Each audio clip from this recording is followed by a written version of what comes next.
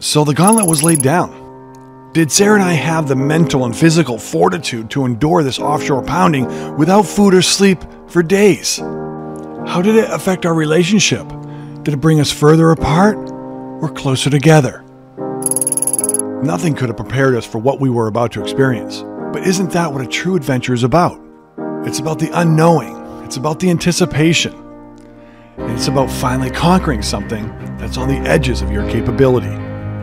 So I'd like to invite everybody along, not just boaters, people that are looking for a true story, where we go from Maine to Key West by boat in one weekend, where we test the limits of this boat, its engines, our physical and mental ability, and our relationship.